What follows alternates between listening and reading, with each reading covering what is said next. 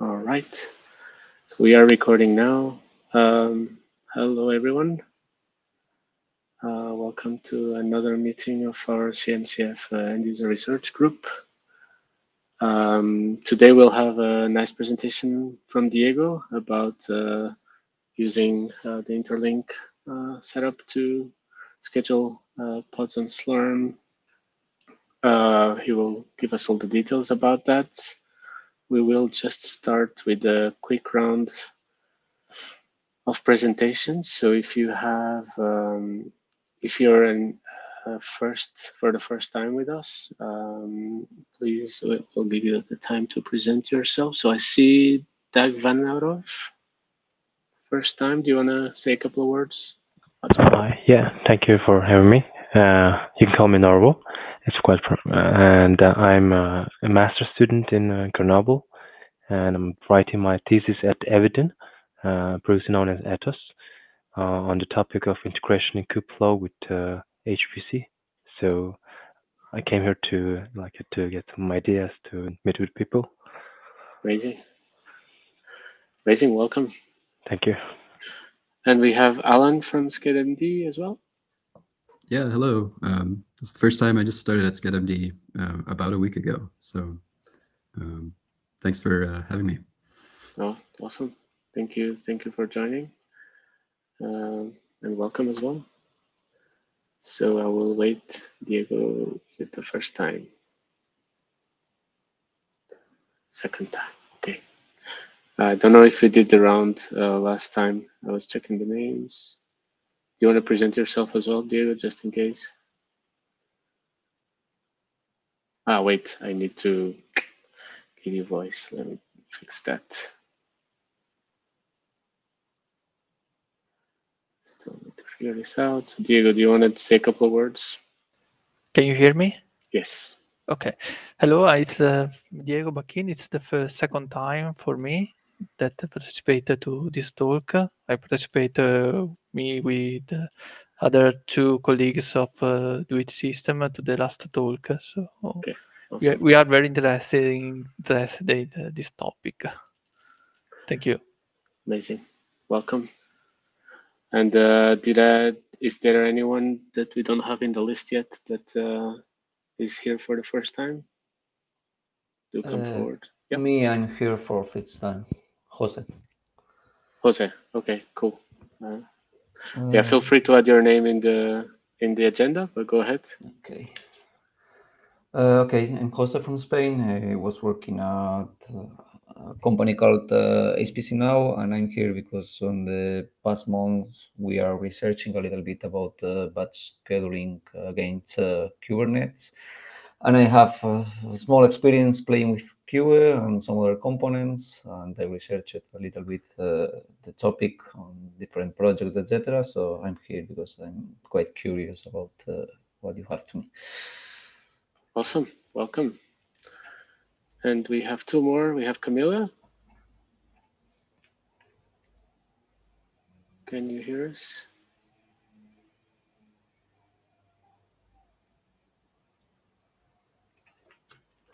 All right, then we can go to Rohini. Welcome, Uh, Rohini. Always first question. Can you hear me okay? Yes, yeah, yeah, Yeah. okay. Um, great. Rohini, um, yeah, technically my first time as this, this format here, but um, maybe some of you may have seen me at, at the, the rug booth at the last KubeCon. Um, um, up until recently was working for the SKA Observatory, now work the Swiss part of the SKA project, um, and uh, relation with uh, an HPC facility here in Switzerland at CSCS. And so we have, yeah, a good amount of interest in um, this uh, area that sort of aligns with the SKA Observatory's interests as well. Amazing. Welcome. Well, we know each other, but yeah, welcome. And I see Pablo. Uh, that's a familiar name, Pablo. Hey, hey, Ricardo. How are you? Yeah, my first time here today, although I know some of you already. Um, I'm also I'm working with Rohini actually on the um, SKA project. Amazing. Well, welcome. I think uh, we are okay for the route of introductions. Um, if we miss someone, just feel free to speak up. Um, and before we pass to Diego, I was just going to say uh, we have already uh, one more session scheduled in this area for the 15th of May. You can check in the agenda um, around Volcano and the batch scheduling with Volcano. Uh, we will schedule another one. We're still preparing around Karmada for uh, sort of multi multi cluster uh, support. And uh, we have an empty slot for May 1st. So either we take Karmada there, but it's, uh, it's probably better to present after Volcano, uh, or we might have an empty slot. So if you have ideas, uh, please uh, reach out. Uh, it could be interesting also to have an update on Kueue. So we could we could ask them to give a quick update on May 1st. But if you have other ideas, just just propose them. And with this, I will stop sharing and I will pass the word to Diego, uh, who will talk us to us about Interlink. So thank you very much, Diego, again for presenting. And go ahead. Yeah, thank you for having me. So, yeah, okay. The idea with this presentation is to uh, propose a bit of uh, a summary of what can be achieved with Interlink and why we are evaluating and developing su such a tool uh, that I'm presenting just in a in a few minutes. Um, just one uh, disclaimer here. Uh, I'm being focusing on HPC, uh, how to deploy on, HPC centers, let's say, but uh, I have some uh, some detail at the end where this can be extended also to any remote resource. So this is the reason for, for this title referring to remote resources. But okay, let's dive in for the moment. Um, starting from uh, who are uh, we in this uh, uh development and investigation, you can see here uh, I had to thank a, a, bunch of people first, and also notice that it's not really just a single institute working on this. it's kind of, uh, of a teamwork made possible through the project that I'm presenting very briefly here in the first slides. So starting from where I'm employed, actually, I'm a technologist at INFN and ICSC, meaning that there are uh, two kind of uh, domain of science that uh, the we need to to serve. The first one is uh, INFN, that is the National Institute uh, for Nuclear Physics in Italy. And you can see that we have different kind of area inside this domain, but every single one of them need to access resources of some kind.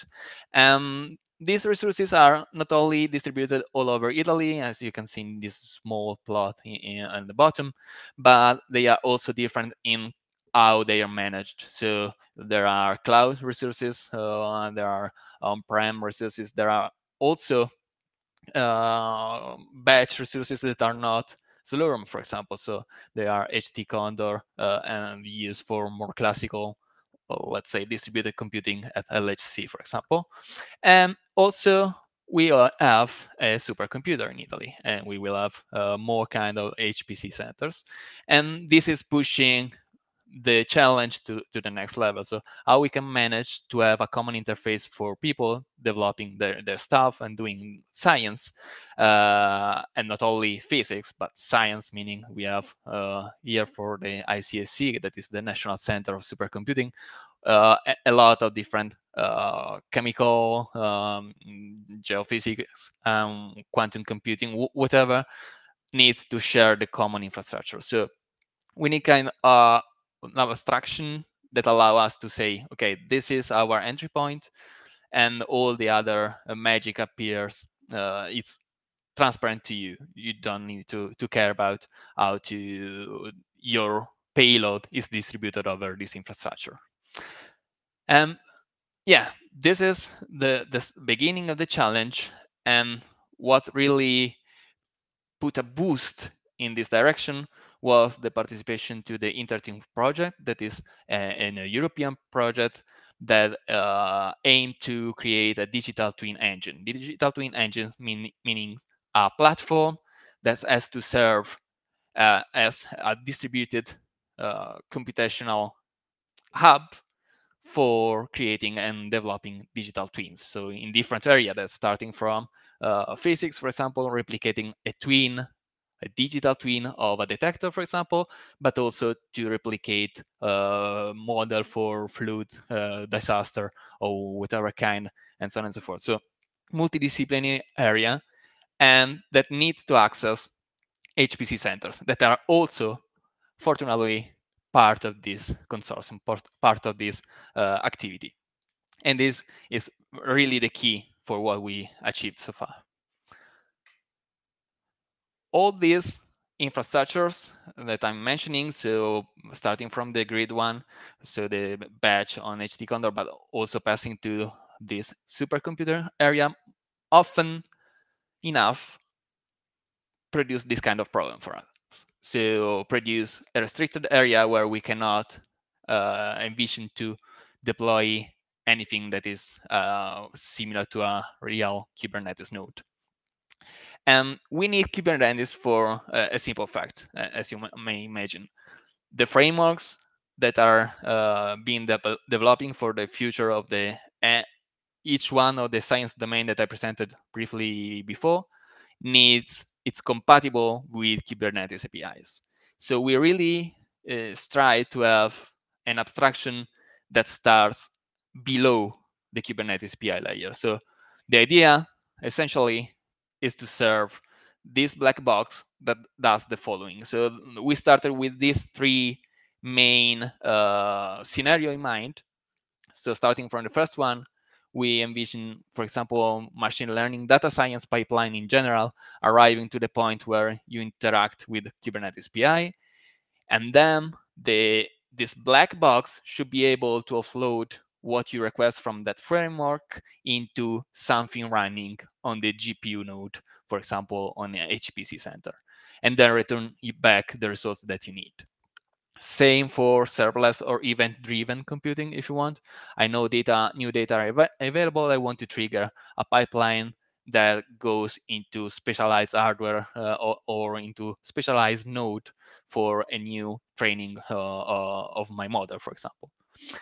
And the most challenging one is also the one that foreseeing a backward connectivity from the node it's a bit tricky. We have a proof of concept for this, and I show you uh, how it behaves. But the idea is that, again, I have a, a Jupyter Hub, for example, or IML Flow uh, Hub, whatever, that delegate the payload that in, in this case is a simple uh, Jupyter Lab instance, for example, and it distributes this into a remote node and connect back to the hub to, for the user to access them through the uh, web interface. So these are the three scenarios that we have in mind. And all in all, what rang a, a, bell in the past when we was we were thinking about this is that somehow we have this kind of abstraction already in place thanks to the virtual kubelet components.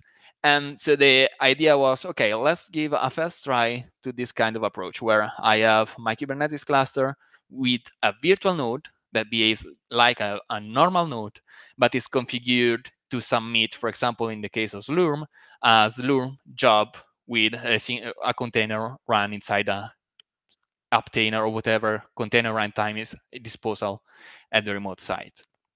Uh, very often we we never experience with two three centers Apptainer or x singularity let's say uh, is the runtime the that is most uh, uh, used in the hpc side but okay so i offload in this way the payload to to the node with this kind of magic how good is it so we gave it a try to all, the, all this flow where this HPC GPU node was actually a real Euro HPC center that is Vega. I'm talking about it in, in a second. And the idea uh, it was, okay, let's give it a try to what is already in place. And it worked quite well. So we were able to do all the chain with some uh, caveat and with some tweaks, uh, allowing us to do the first, very first row proof of concept saying, okay, everything is doable with some caveats. So the, the first blocking uh, item for us was that really we have an heterogeneous set of providers. And also when you pass from an, one HPC center to the other, uh, not every Slurm is equal to, to the other one. So you have somehow to configure and let the provider be in charge of managing how the offloading of the container works. So, but to do that with a full virtual kubelet implementation, they should be aware of Kubernetes internals.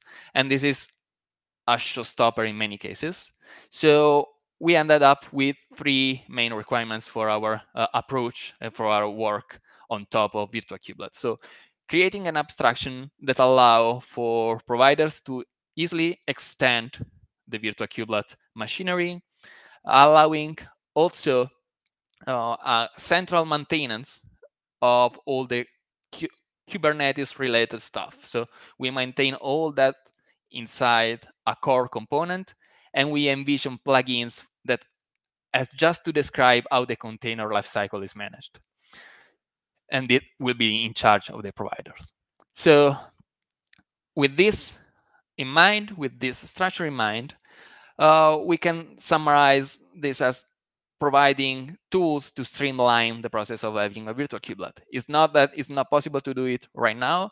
It's that our um, concern is about letting the providers do what they want uh, in terms of managing container on, at their sites.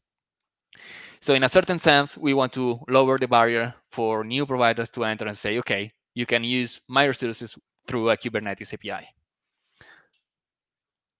And so to achieve this, um, really um, uh, from 10 kilometers far, we develop a virtual kubelet, a particular uh, provider, if you want to call it like that, uh, of a virtual kubelet that is uh, split in two components. The first one is the Kubernetes core, so where you ma maintain all the, the, state machine for reports, uh, logs, requests, uh, delete, apply, and so on and so forth. And then this part will talk through a standard, or let's say a fixed API spec to a remote counterpart. That is the one that will be called plugin or sidecar uh, with uh, interchangeable terms in the uh, next of the presentation. So you have this remote part that should be in charge of managing the the container lifecycle all the Kubernetes part is uh, separated from that. So that's uh, is, is the idea. And but before diving into the components and what they does and, and take a look quickly to what we, we achieve, uh, there is this is not a silver bullet, of course. We are interested for our use cases in very particular payloads that can avoid to rely on intra-cluster network uh, communication. So, for instance, uh, you should not assume that you can uh, access a Kubernetes service uh, that is internal to the Kubernetes cluster on the remote uh, payload. And also, uh, the only volumes that are supported are config map, secrets, and empty for your pods. You cannot share PVC from any other kind that's the limitation. And here the, the schema how uh, this work. On the left side, there is the uh, the characters if you want to play the, the, game and on the right side there is the technical implementation. So let's let's start from introducing the components. The first one is the fact to the deceiver right? So the one that says to kubernetes i am a node. Give me work to do, I'll take care of that. But at the same time, whenever it receives a request, it contacts its friends uh, interlink API server that you can consider like the man in the middle because it's responsible to expose the standard uh, APIs that I uh, anticipated before. And then it contacts the plugin that has been installed by the provider and where all the logic for submitting Slurm jobs, for example, uh, is uh, concentrated. And that is really the, the cavalry, so the one responsible to execute your payloads. And you, if you go on the right side of the slide, you see that essentially you have the Kubernetes API server and all the scheduler and whatever, all the components of the Kubernetes part are talking to this virtual node, just like any other virtual kubelet that is out there. The only thing that changes is that the virtual kubelet itself is speaking a particular uh, language, if you want, that can be plugged to different kind of plugins. So you can see here the uh, virtual kubelet authenticate to through a token with uh, uh, the API server, and then the plugin does the jobs. We have three implementation at the moment, as I mentioned before. We tested a local Docker component. You have a single machine, you want to uh, uh run that in, into a Docker. It's more for demo, but also for real uh, cases where you have a big machine. We have Slurm in, in this box here. That is the one we are going to, to look at. And then we have HTCondor for uh, normal grid system. You have here the schema. I'll let this more uh, for for you as a reference to to understand the flow. But again, I don't want to repeat myself. You start with a node that is designated to, uh, with a pod that is designated to a, a, particular node, to a virtual node. And then from there, you proceed in a, in a chain. So the virtual kubelet contact interlink and say, okay, I need to run this payload, do whatever it takes. And depending on the plugin that is installed, the interlink part does these different things. Where did we test this implementation? So we decided uh, to, to start from volunteer sites. And we were lucky enough to have uh, as a first volunteer site the Vega HPC Center. That is one of the biggest uh, Euro HPC center. And we were able to play with uh, quite a success uh, at that stage. So we, it, it was really the fact that they enabled us to convince other sides, other people that this could actually work. And related to the discussion of the last time, uh, the last uh, meeting, yeah, for for for us this model worked very well. We have a champion, if you want, where we demonstrate things that works, and then, for example, Jülich HPC Center that is also participating to Intertwin come and say, okay, well, it's quite interesting. We have our way to manage container on our center. Can we plug our uh, work onto this. So we can plug, for example, Unicore, that is their, their framework, into a plugin serving as a backend for Interlink. And this is, was the second step, second fundamental step that demonstrated not only that the UL flow can, can work for us, but also that the principle of easily extensible is a valid argument in, in this case.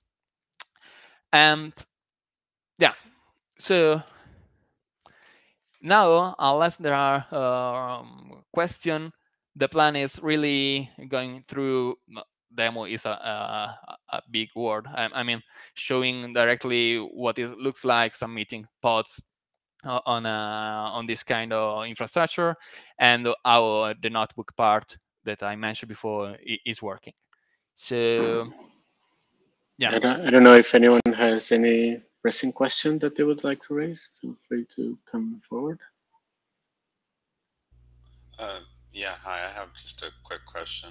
Yeah. Uh, what kind of, what provider are you using from Virtual Kubelet? Yeah, the interlink is, if you want, the provider of uh, the provider. So the implementation of the uh, of the virtual kubelet is done by us and it leverages the interfaces provided by the virtual kubelet software so. So was this sorry i saw ksoc also. Was that kind of a inspiration for the interlink provider or? Yeah sure. Yeah. We we took that from the architecture perspective and then we also, of course, look at around how people manage virtual kubelet, and yeah, but the the the class itself is fully virtual kubelet based. It's, it's nothing. It's nothing fancy, let's say. All right. Thank you. All right, so let's start from what it looks like for the user in case of interactive analysis. Well, uh, I'm sure most of you uh, uh, knows the interface for Jupyter app. What we do here is selecting the image that is actually in the Vega EuroHPC Center, and the user can select, okay, give me uh, a slot with CPU or GPU and in Vega, and here I'm into the, the login node, where in, into the edge node where we have interlink uh, configured, and you can see that I have nothing running here at the moment. But as soon as I'm going to create a pod that is pointing to that particular node with, with this flag, you should be able to see, yeah, now it started. You should be able to see that a job, a Slurm job is arriving, and it will actually do a singularity exec. Let me show you. Uh, yeah, no, it takes uh, too much time. Let's see the job running. The notebook uh, is it's up and get and running again. So I'm inside a node in Vega with a jo job in, on Slurm running a Jupyter Lab, and I have NVIDIA. As my and I have a GPU available to do all my uh, development stuff. What looks like into if I go into the uh, oops into the node into the Kubernetes cluster, it's actually oops it's actually the following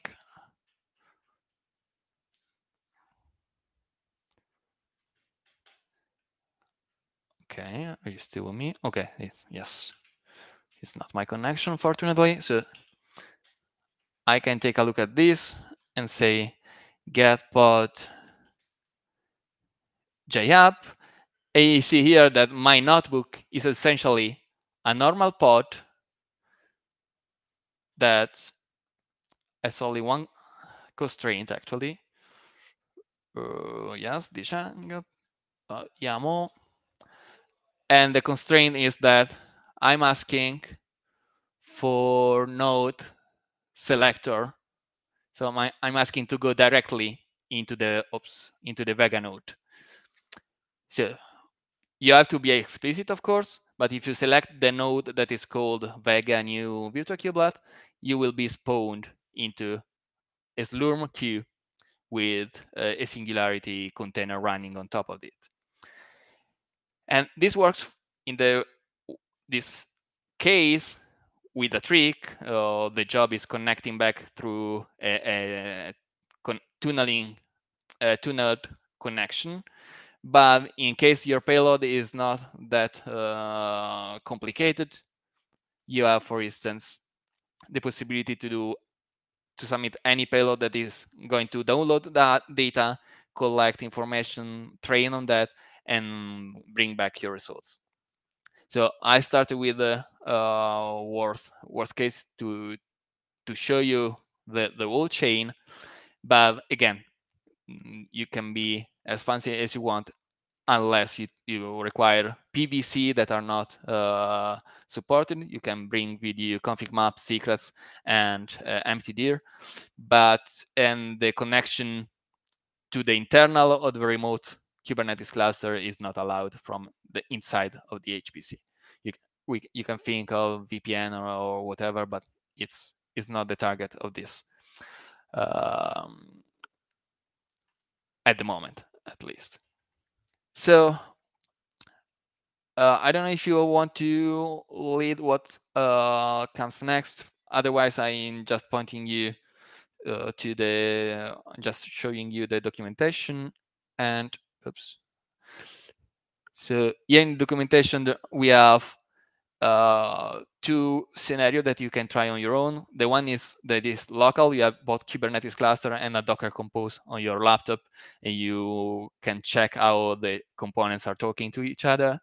and the other one is actually what we use to the to deploy all the machinery. So we use you have a step-by-step uh, demo where, for example, for the authentication between the virtual kubelet and the remote counterpart, we we use the OAuth chain that, in particular, in this case is GitHub, but we have also instruction for everything that is OAuth 2 compatible.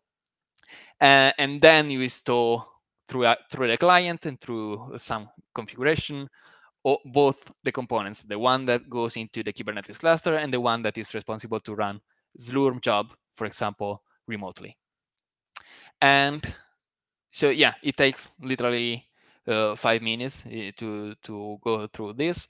But the nice thing that I want to to stress uh, is that we also, since the specification uh, are uh, documented through Open API, you can implement whatever plugin you want with quite uh, some some ease.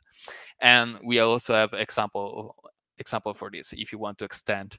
And we'll have people coming and say, okay, I want to extend, uh, and they get started pretty easily with, with this kind of approach. Um, yeah, just keep in mind that we are at the early stage of this project. So the API, it's something that we want to fix quite soon, but we are not there. So uh, at the same time, there is a good time if you want to come on board to, to lead what the API will look like in, in the future. But uh, if you want to rely for production ready stuff, it is not at this stage. Um, all right, there are questions. Otherwise, I go back to the presentation. I see Pablo has a raised hand. Go ahead, yeah. Pablo. Yeah, thanks. Um, first of all, thanks for the very interesting presentation. Um, I had two questions actually. Um, so the first one is, um, I'm not sure I understood uh, the, you mentioned the limitations is that you only get like a config map, empty dir, etc. So what are your what, what is the approach here if you spawn a notebook that needs access to some, you know, data that is somewhere else? Um, yeah, and then I have a second was... question that I can maybe ask later. Yeah. Uh, the the first one is there was partially a lie inside that because you can still access uh, common and scratch area, com not scratch, common area that you can decide to, to mount a singularity uh, time. So for example, you have your scratch area or your data area inside HPC. You can bring data there mm -hmm. through whatever machinery, and then you can still access that with via a pod annotation. You can mm, say, okay, mount this area because I'm allowed to. Okay, because it, you're inside the HPC and you, you yeah. just you can just mount it. Okay, I see. Uh, but the, for instance, the PVCs, is that a design limitation or is it just the fact that it's not implemented? Well, on one side, it's linked to the fact that we have no internal access to the network of the cluster. Okay. That's, yeah, I see. Um, that uh, so that is limiting a lot what we can do, what we can do there, and and I suppose it will be many other issues that we we need to take care in order to to allow for that. Okay, thanks. Um, the second question might be a bit brief, uh, hopefully. Um, I was just wondering so I'm, I'm not an expert on the internals of the notebook, but it was quite interesting that you showed an interactive session. I was just wondering how the connection is established, since obviously you don't know which node it's going to end up running at. Yeah. At worker node. So I was wondering how it works behind the scenes, how you can establish that interactive connection. Yeah, with again vision from a, a bit uh, far away, we are instrumenting the Jupyter Lab image uh, with um, uh, in initial script where you connect through with your Jupyter uh, Lab or Jupyter Hub token back in a SSH uh, session with the Jupyter Hub. So you open a, a, tunnel basically to the Jupyter Hub, and then you start communica communicating with the proxy on the cluster, the Jupyter Hub proxy on the cluster uh, through through this tunnel. So yeah, not every okay, image can work on that, but it's really a, a, script that you have to put in uh, initialization of the Docker to to adapt any Jupyter Lab image to, to work in this way. Okay, thank you very much. Thank you. Awesome. I have uh, uh, see Rohini. Go ahead. Um, uh, yeah, thanks, Diego. That was that was that was really a good presentation. Um, an overview. Um, I had just- a just- question. sorry. Yeah, no, go ahead. Yeah, sorry. Just, just to clarify, I have just a couple of slides to, to conclude, but yeah, go go ahead. So, Okay. um, I had a question about the the the OAuth chain um, in the sense that is it is something that's implied here that the IDP that you've configured your Jupyter Hub with, there's an implicit level of trust with the HPC facility that the JHub tokens will be will be trusted, or is that established? no, the only trust that, oh, oops, the only trust uh, that comes from this implementation is at the moment you can have finer grain. For example, in the Jülich implementation, we have the grain of authorization that is on the pod level. So the pod has to be has to present an annotation with a user access token to be trusted and to be executed on the on the Slurm node.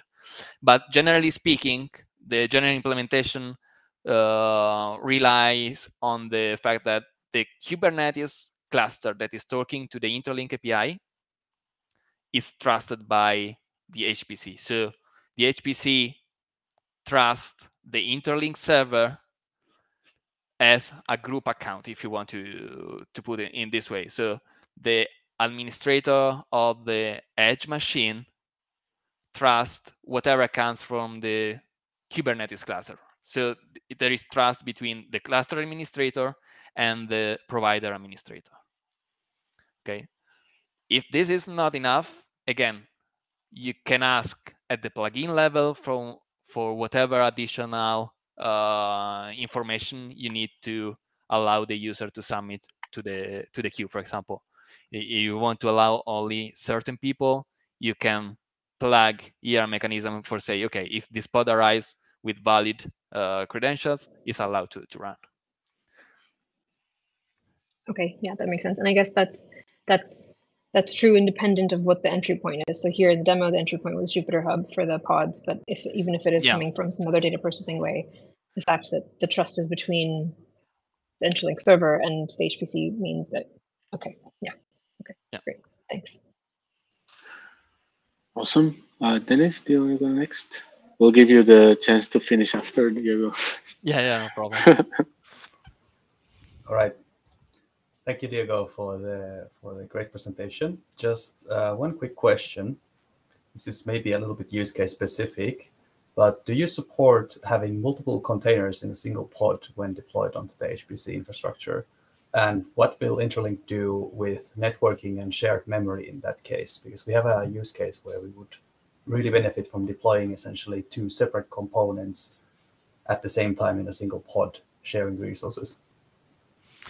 Yeah. So in in that case, again, it's not really interlink internal because what the information of uh, multi-container pods is transformed into into what is managed at the plugin level. So currently, the Slurm plugin that we use at, at Vega, for example, uh, does the following: allocate a Slurm job with the sum of the requests for, for the container and then uh, kickstart two singularity process, one for each container in the single job.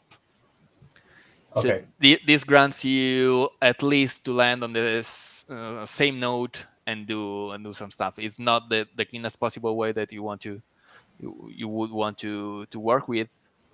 But again, if you're interested in doing uh, better or less some use cases, you you're more than welcome to to join the, the effort. Yeah. All right. Thank you. I think you can go ahead, Diego, and wrap it up. Yeah. Right. Yeah. So I wanted to share also that uh, we were a, a bit worried about the the scale um, as always, but the it ended up in being a, a nice experience uh, all in all. You can see here a plot where there are uh, 1,000 pods uh, deployed. It's not enough, but it's not too, too less, I, I suppose, uh, resulting in 10K cores uh, consumed by, in this case, we leverage some example workflows from, from CMS collaboration. And yeah, so we, and all of them, all the 1,000 uh, pods uh, were managed by a Kubernetes cluster that is really uh, common one, if uh, a common uh, one exists at all. But yeah, there were no dedicated hardware or special stuff that we did to to reach super high performance from the control plane um, side, let's say. So that, that was a, a good news for, for us. And also, this is to, to mention that we are developing and we develop the, this tool also with, with this in mind. So we are trying our best not to uh, create a lot of requests to the, for example, plugins. So in the case of Slurm, a lot of uh, squeue command, but rather trying to cache whatever possible and be on the lazier part more than on the uh, aggressive part in terms of uh, synchronizing the, the statuses. So this will allow for sure uh, to, to scale and as an important role on, on this uh, achievement if you want.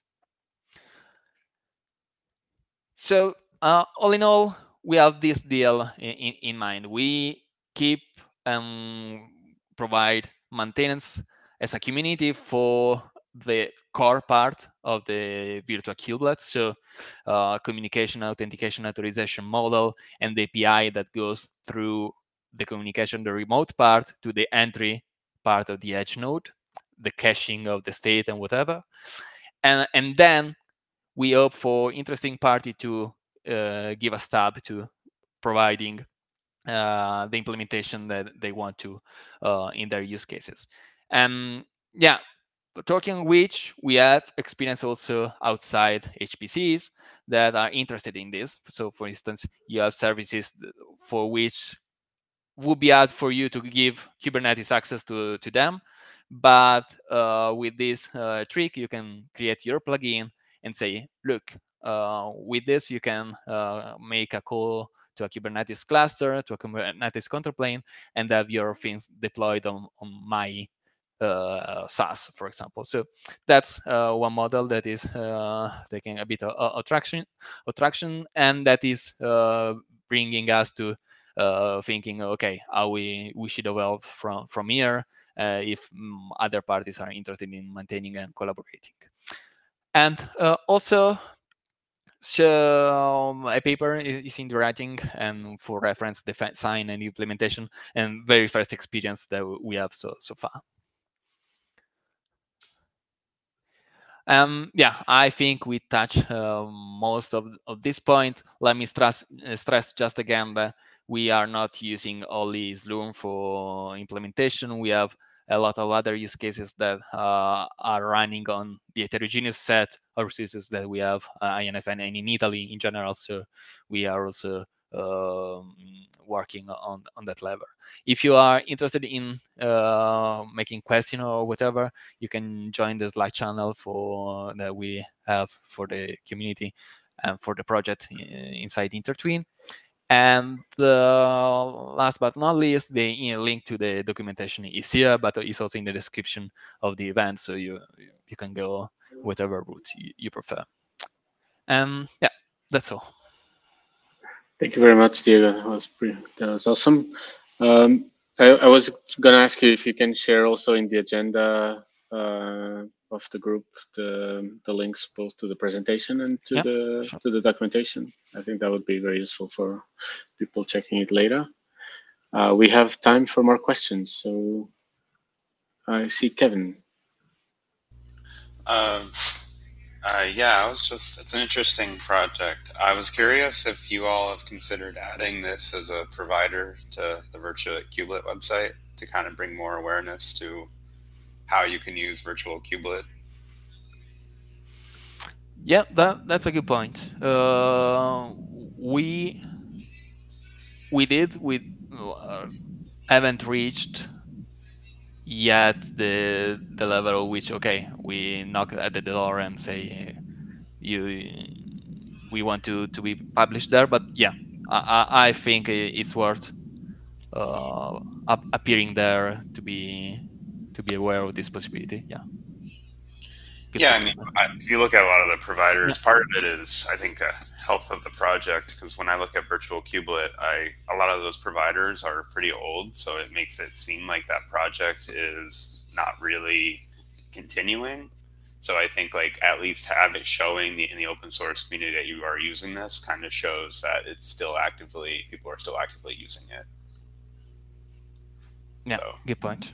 Even if like it's you know about you quote unquote think it's rough, I no, no, I, no, I, was actually thinking about this a year ago, and I, I wasn't aware of this project at the time. So I, it's just like having that information because I when I looked at Virtual Kubelet, I saw there was a CRI provider, and I was like, oh, if I want Slurm and CRI, I'll have to implement my own. And I kind of I stopped.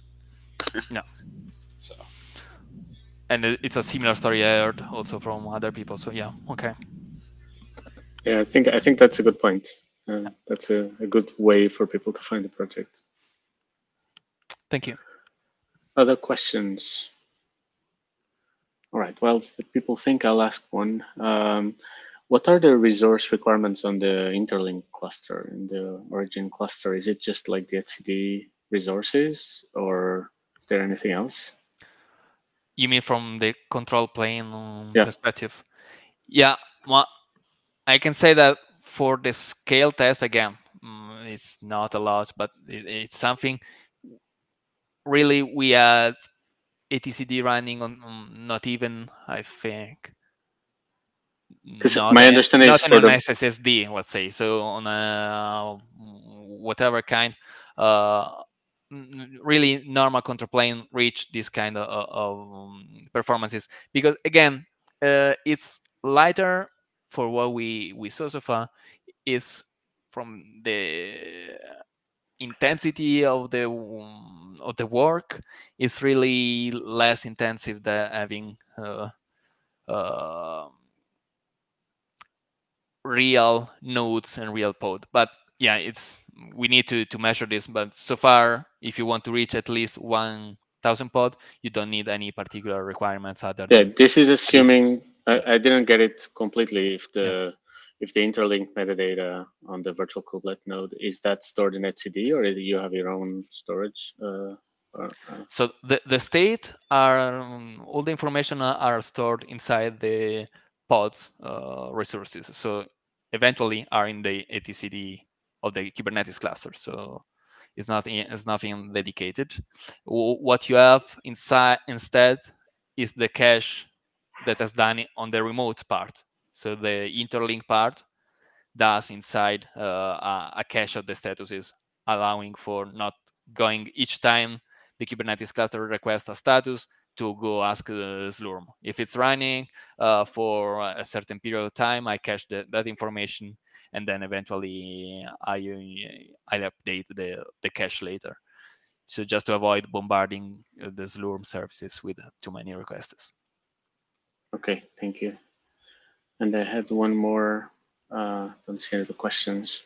So there was a question already about the network re requirements, but uh, I had another one, which is at the scheduling time, because I understand this is at the pod level.